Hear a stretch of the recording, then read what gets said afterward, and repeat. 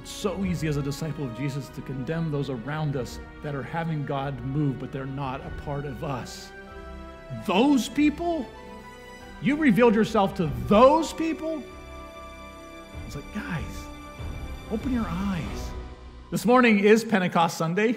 I do want to recognize that out here in the beginning. I'm going in a different direction a little bit, but it is Pentecost centered about the Spirit coming and dwelling with us.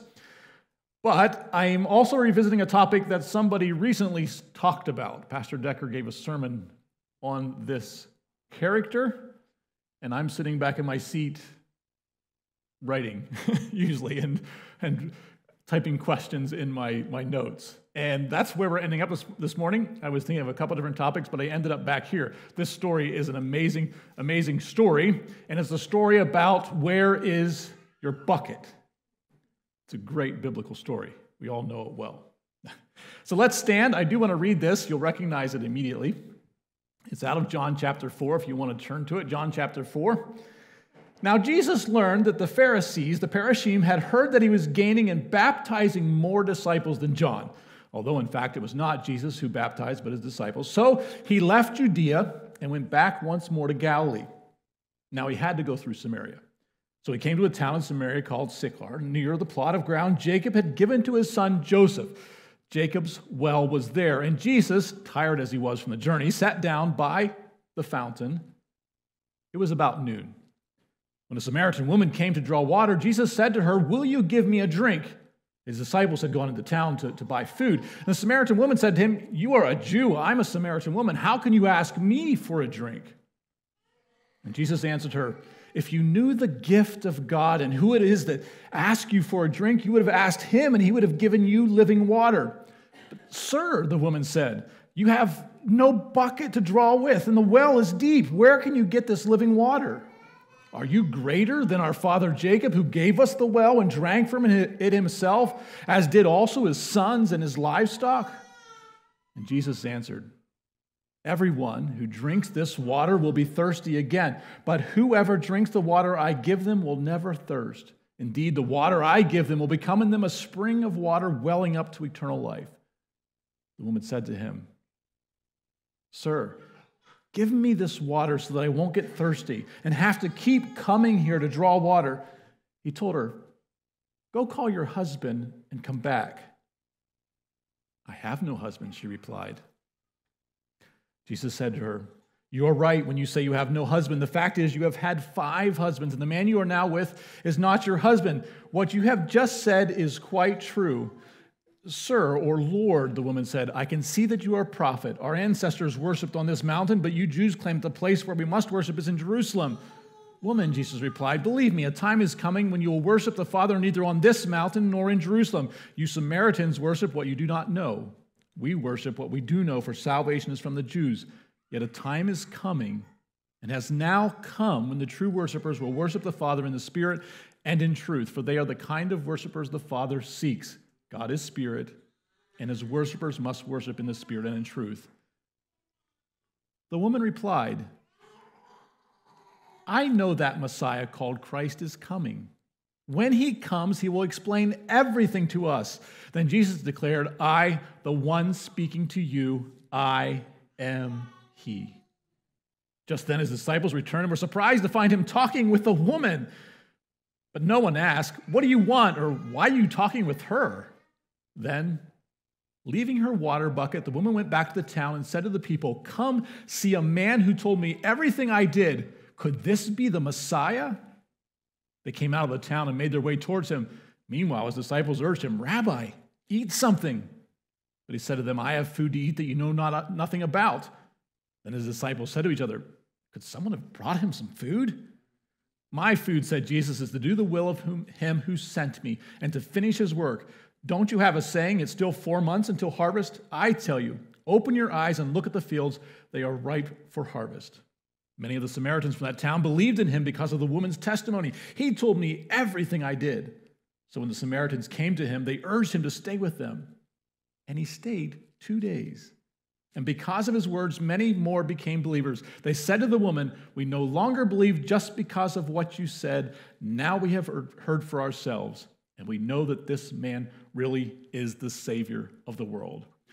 Father God, thank you so much for this story of this woman and how this interaction occurs. Help us to associate ourselves or step into the stories and, and try to understand it so we can live it out and understand that you truly are to be worshiped in spirit and truth. In Messiah's name, amen. You may be seated.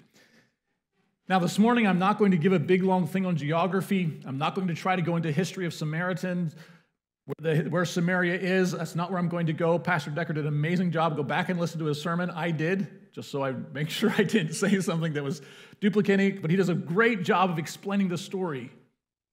I want to focus on something else. I want to focus on the dialogue of the conversation. This story is one of the deepest dialogues that we have between Christ and a person. It is filled with meanings, textual references. He's pulling things, she's pulling things, and this dialogue is not just a simple man talking to a woman. There are three major dialogues in this story. The first one is between Jesus and the woman. And throughout it, you're going to see water being mentioned. Actually, it says fountains, buckets, and mountains. The second one is the woman in the village. Come and see a man.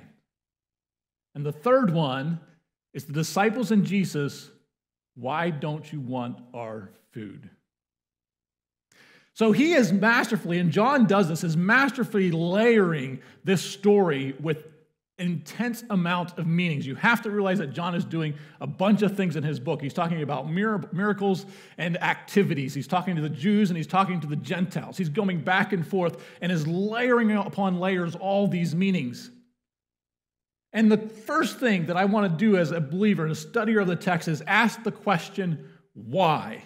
Why is that in the text? Over and over, Christ does certain things. We have to ask why. One of it is why does he always show up to the women?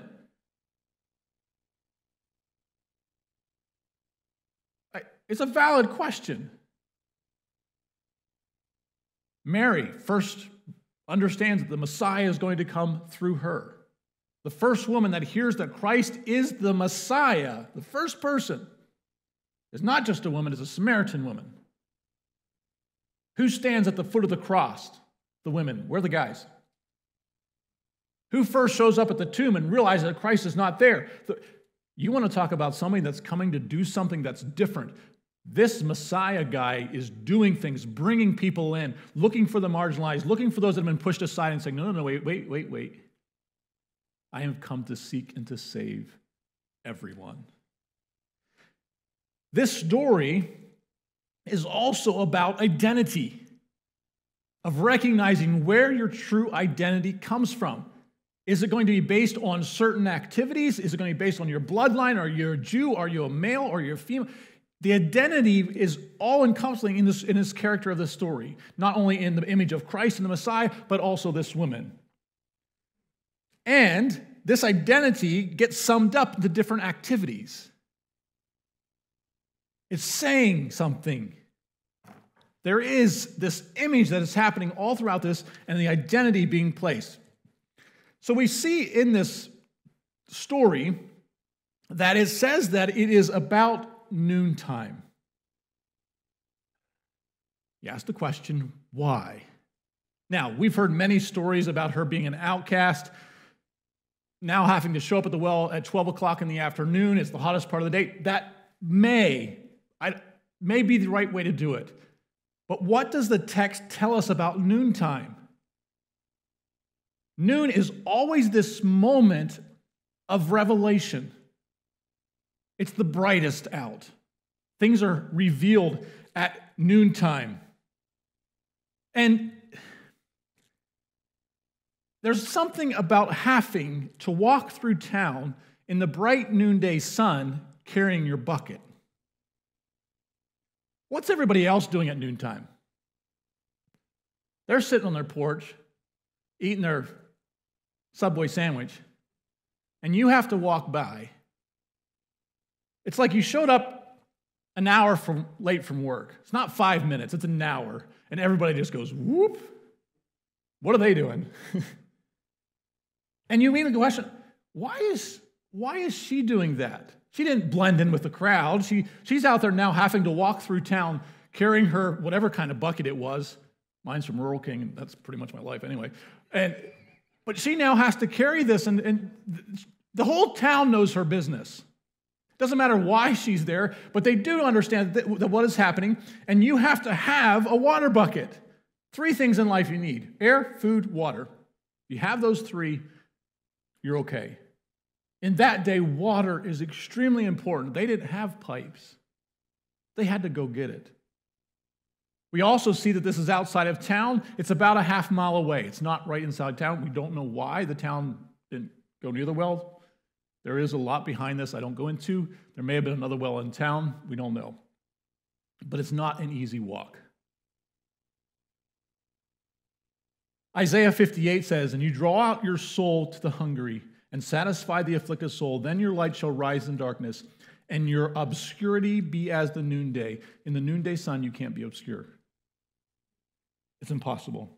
We grope for the wall like the blind, Isaiah says. Yes, we grope as those who have no eyes. We stumble at noonday as in the twilight. You will make your righteousness in Psalms go forth as a light, and your justice as the noonday sun. Evening, morning, and at noon I will cry out in distress. You will hear my voice. Over and over, this noonday is this moment of revelation. Things get revealed at noon. But she summoned all of her strength, grabs her bucket, through town she goes, out to the well. I like to think that she is singing a song. Maybe it's a song, I'm Still Standing after all this time? Looking like a true survivor? I don't think they had Elton John back then, but maybe that's what she's doing. How old is she? Is she a young teenager? If you had five husbands and living with a sixth, is she an older woman? A long past? But here she comes, carrying the bucket. And she looks off in the distance and, and she sees the well, but something, something's different today. There's somebody there. And you recognize the outfit, it's, it's not Samaritan. That, that's got to be a Jew. There is a Jewish man alone at the well.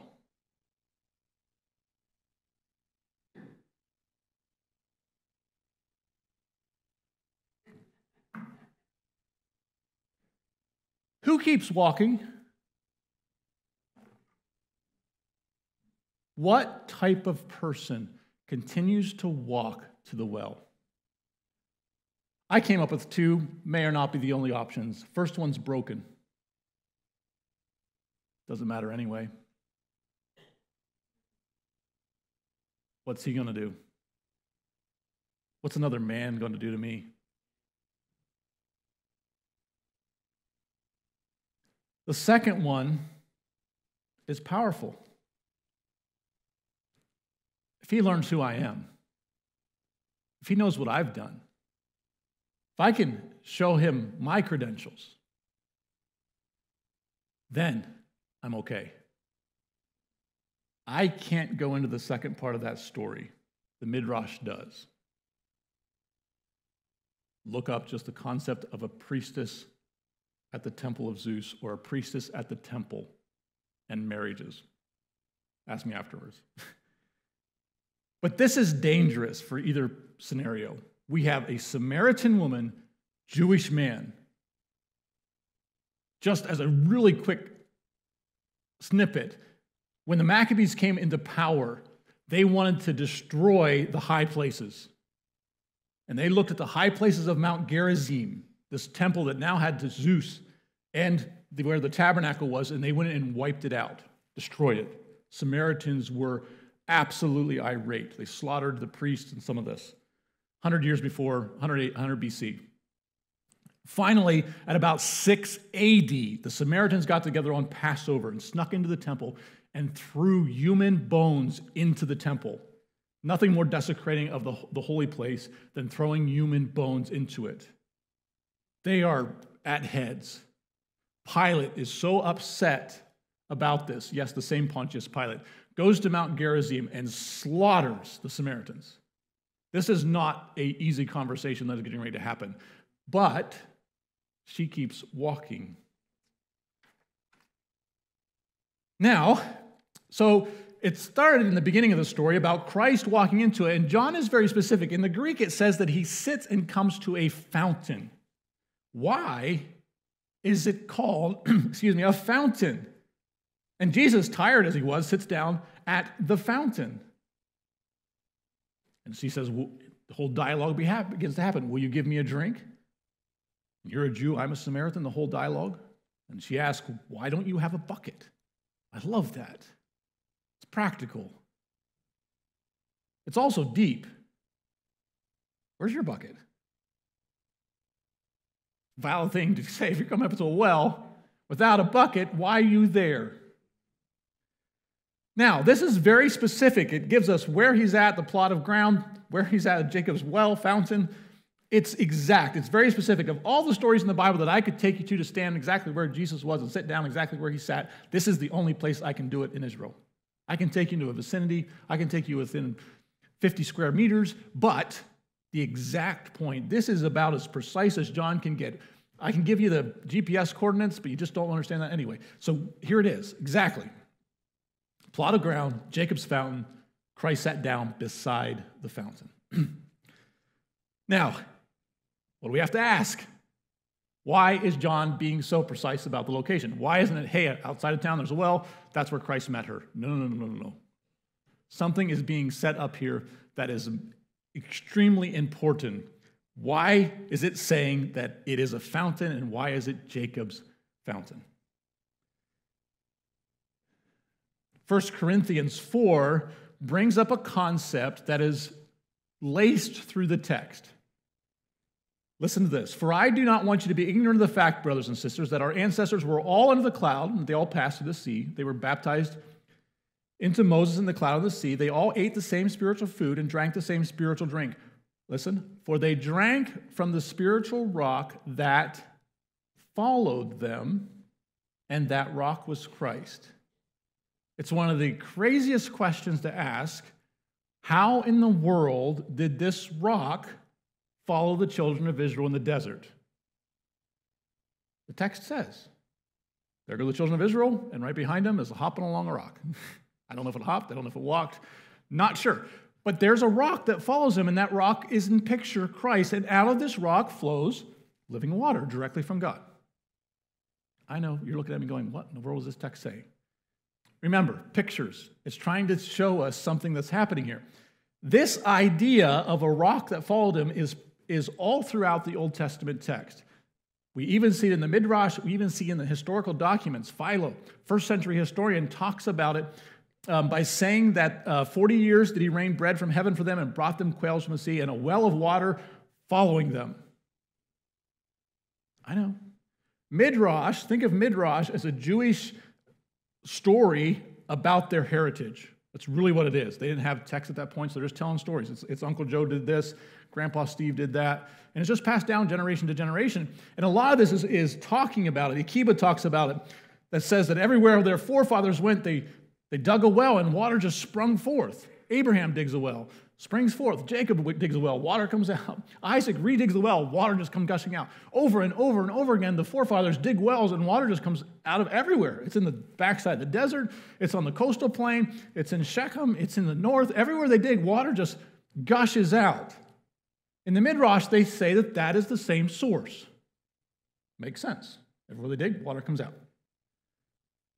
They also then tie this into transporting this well. And Jacob does this. It says that Jacob was 70 years old when he went forth from his father's house, and the well went before him. Because everywhere he went, water came gushing forth. And it even says that he leaves the well behind at Bethel. This well is tied to the same water source of the children of Israel. It worked for the patriarchs, God gave them the promise. They show up in the desert, water comes forth, this rock follows them. That's the image. I'm not saying scientifically there's a rock But that's not what I'm saying. I'm saying in picture, this is what the text is trying to tell us. It overflows. John is writing about the seven miracles. This is one of the miracles that is happening. Jacob has five miracles. This is the fourth miracle that happens, the gushing water. He's tying this story together. In the Exodus story, we have this, this song that's recorded that Miriam sings.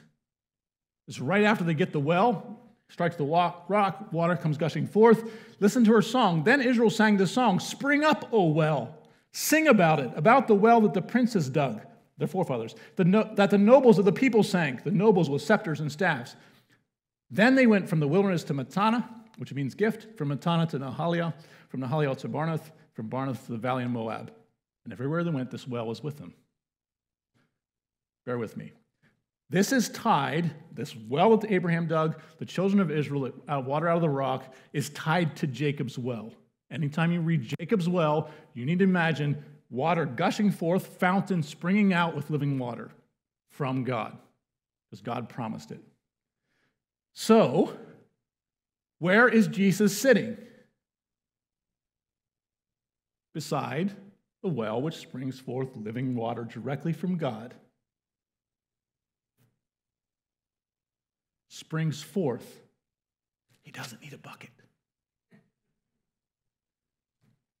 All right, so why does Christ then say, Will you give me a drink? Why doesn't he say, Can I borrow your bucket? Better question. I'm a guy, she's just walked from a half mile from town carrying these things. Can I borrow your bucket? Or can I help you? Why does he say, Will you give me a drink? Why those words? Where in the story does that happen already? Abraham sends his servant north to find a wife for his son. He sits beside the well and says, If there's a girl that comes and gives me a drink, that's the one.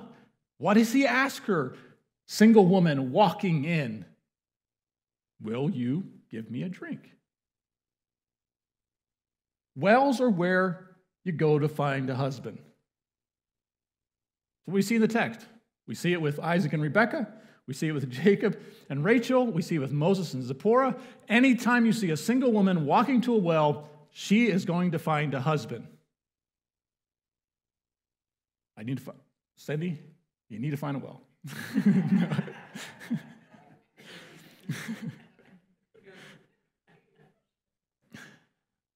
Now, it plays, a, it plays a very interesting aspect of our story about husbands. There is also then, the woman responds very specifically then by saying, Are you greater than our father Jacob? How does she know this story?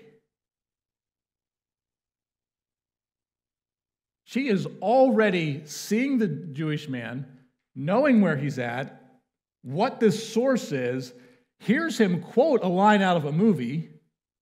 Okay, almost. And he immediately jumps and say, wait a minute here, your father that I'm going to tie this to Jacob. He just quoted the story.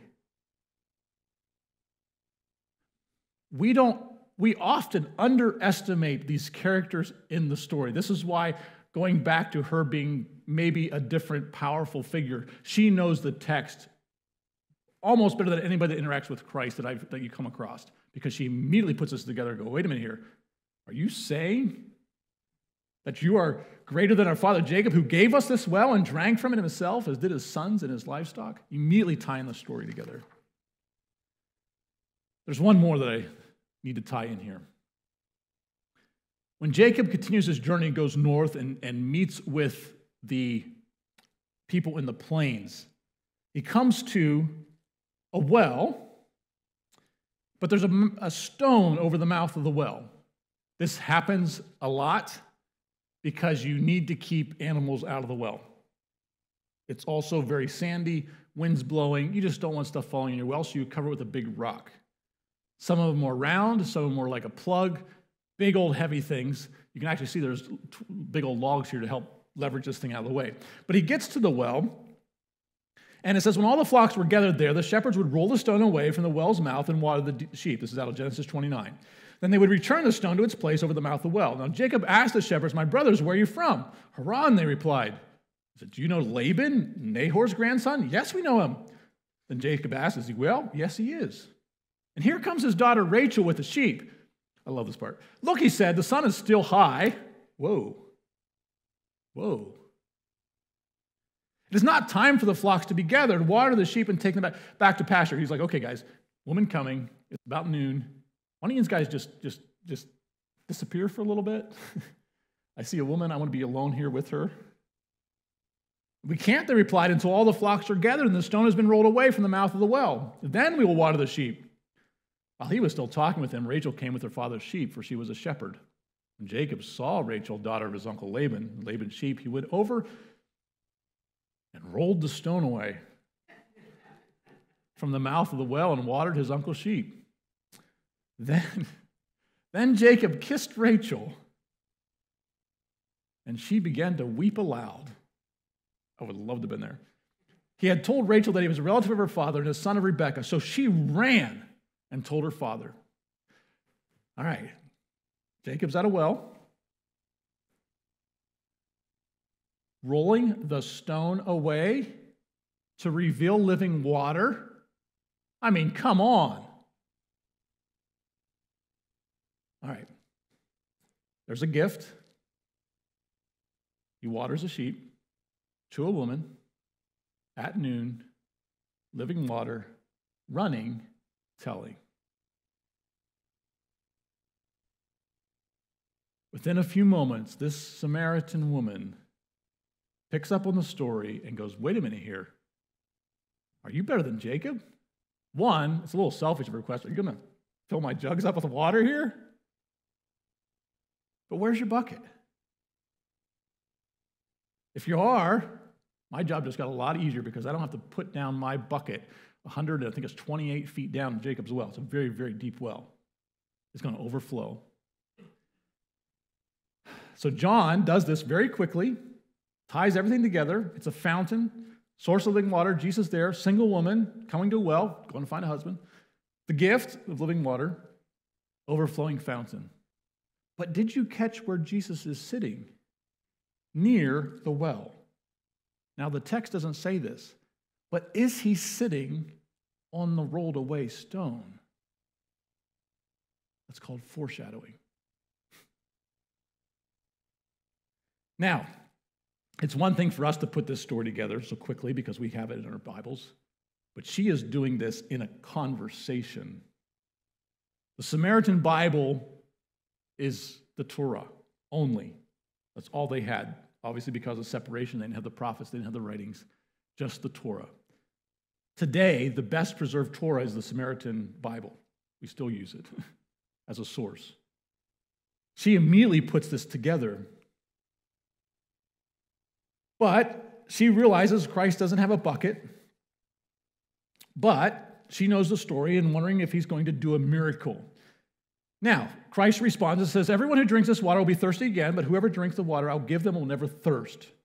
And she's replying, Sir, give me this water so that I won't get thirsty. And he replies, Go and tell, go and call your husband and come back. Christ's encounters always take a turn when you don't expect it. A twist of a saying, a pointed comment. She was right in line with him, bantering back and forth. Oh, we're talking about this story? Okay, I got this response back and forth. This is about Jacob. This is about the well, the fountain. Where's his bucket? It's just firing all cylinders. And he says, Oh, I'll tell you. Just go call your husband first. Every conversation that you have that brings up Christ is going to get a point that's uncomfortable. You have to. It always has to get to the heart of the matter. And there, once again, she realized she's still standing outside in the hot day sun, still carrying her bucket, still has a problem with husbands. Now, Christ reveals out the truth. You've had five husbands, you're living with a new man, but you say the truth. Now, step into the story yourself. If you were standing there, what would you tell that woman? Adulterer! Put a red letter on her. Don't you know the Bible says? Ah.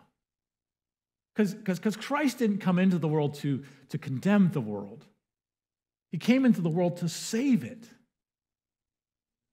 Because it's easy for us to condemn it.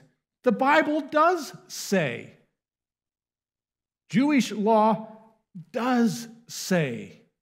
It says if you had three husbands, you can't get married again. It doesn't matter for what reason. Death, it doesn't matter. Only three. I want to ask the question who can get a divorce? Can a woman get a divorce? Why do we always assume the worst with women? Oh, it's her fault. She, she's got to be a prostitute. She's got to be the worst of the worst. Five husbands. Come on, woman, get it together. Can a woman get a divorce? No. A man gives divorce to a woman. And this is a big debate. They're asking Christ this a lot. Like, what about divorce? Are we allowed to? Are we not allowed to? Hillel says we can give it for any good reason. Literally, if she messes up supper, divorce. And Shammai go, well, maybe not, not quite that much. It's got to be a serious mess up on Elizabeth. It's a serious, they're, they're debating this a lot. She may have been there for no fault of her own. Death. If, if you are barren as a woman, it's cause for divorce. Does she have any say on that? No. But here she is but Christ reveals everything. And in her bucket is filled with shame, chaos, misunderstanding, and it may have not all been her fault. But we got to realize that I've got a bucket too. I have to carry my bucket around. And in my bucket, there are things that I have tried to, to dip the bucket into to, to get water, to, to, to make sure I stay alive. And I find it that it's, I pursue things that aren't of God. I don't dip it into the things that are living water. I pursue things of my own, things like, like, like titles. Oh. Have you seen that one?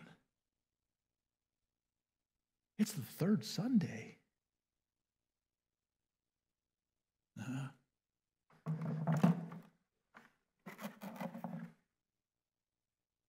I'd be accepted, oh, if I can just do that, then they'll accept me better.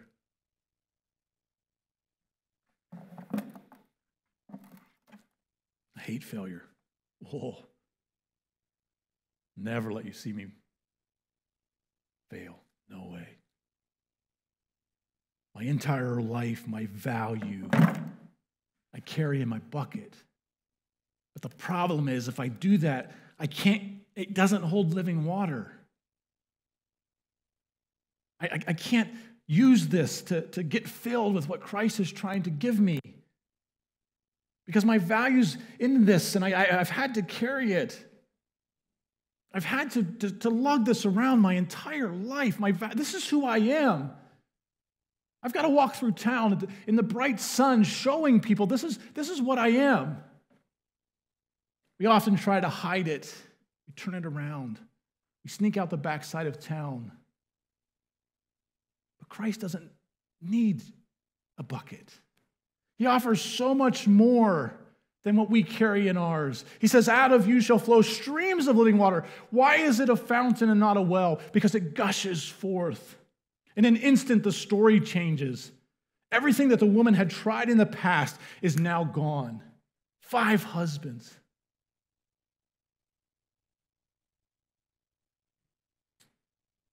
Like all encounters with Christ, theology gets in the way.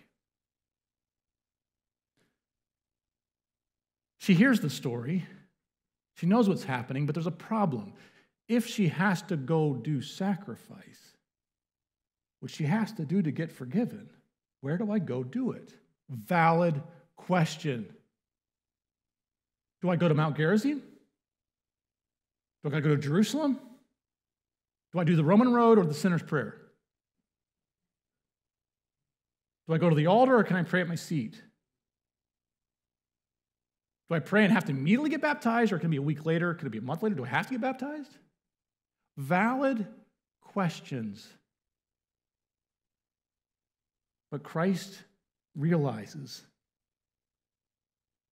that the heart is more important than the theology. He has an answer. Oh, by the way, it's Jerusalem. He kind of does. He's like, wait a minute here, it doesn't matter the location. How would you have responded? Well, if you confess and believe, if you do this and this, it's doctrinally sound but relationally wrong. Because the time is coming, he says, when we worship in spirit and in truth. And the woman's like, Yeah, I know the Messiah is going to come and she's going to expl- he's going to explain everything to us. W- wait, that much faith? He's going to show up and it's all going to be solved. And he just responds, like, I'm he. And she's like, Don't need that anymore. Leaves her water bucket behind and goes and tells. When you meet Jesus, the real living water, there's only one response you leave the bucket behind. He gives living water. The past is forgotten, the shame is removed, the disgrace is gone in an instant. You push the bucket aside because now you're in new life. You are now the bride of Christ. She finally found the person she had been looking for. Conversation number two is what she has with the village. She comes running into town. I, you can't make this stuff up. And declares, Come and see a man. Is there one conversation that this woman would avoid like the plague? I found another man. Come on, guys, I found it. And they're like, Is this the seventh one? Really?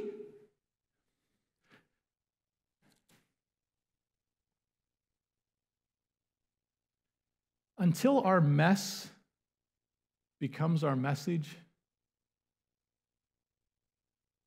has Christ filled us with living water? She doesn't care now about the past. I found the man. I found that he's told me everything that I am. They're like, well, we gotta go, we gotta go see this. Is it out of intrigue? Is it out of a bit of humor? It's midday. Let's go find this. We gotta, gotta see what's happening here. They come to him and begin to talk to him. And I love this. We don't believe now because she just said she found them. We believe because we found it. And they believed. And for two days, at the beginning of Christ's ministry, he tells them. Now, every story, there's two sides. Prodigal son, one son separated from the father because he sold everything.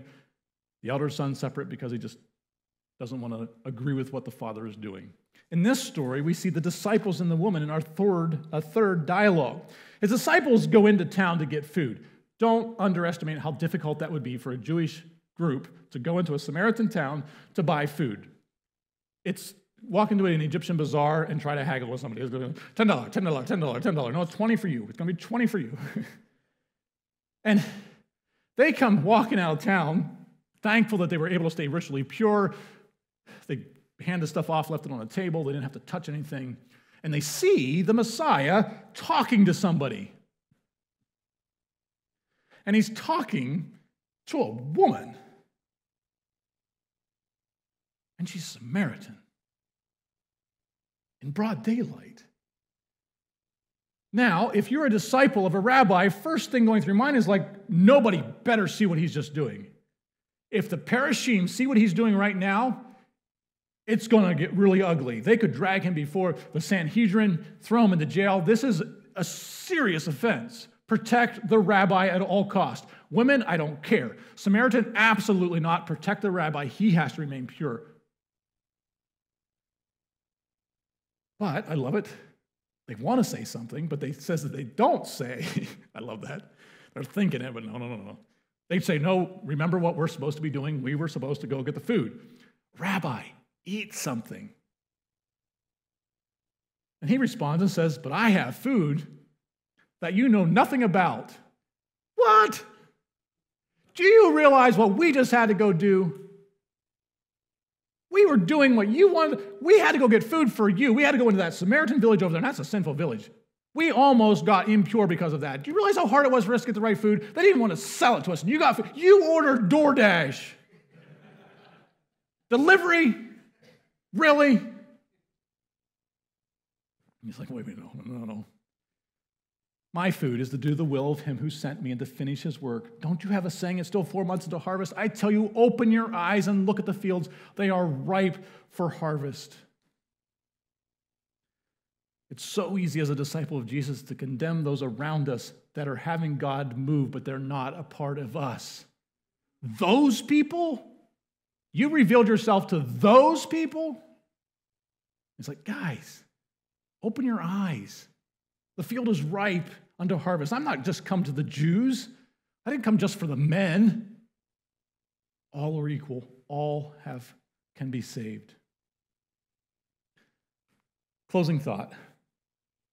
This is me just thinking. What happened to this woman? I think number one, she was no longer referred to as the man with five husbands. I think she now is the one who brought us the Messiah. She showed us the Messiah. But did she become a follower of Jesus? Did she follow him on the, on the journey? Did she walk with him to Jerusalem? Was she there at the crucifixion? Did she stand with the other strong women that saw Christ crucified? Maybe she was there when the noon happened and darkness descended, and she remembered how it was a dark noonday. Did she remember at the well when Christ gave her living water and she left her past, her bucket there? And she wept when the spear pierced his side and outflowed from him water.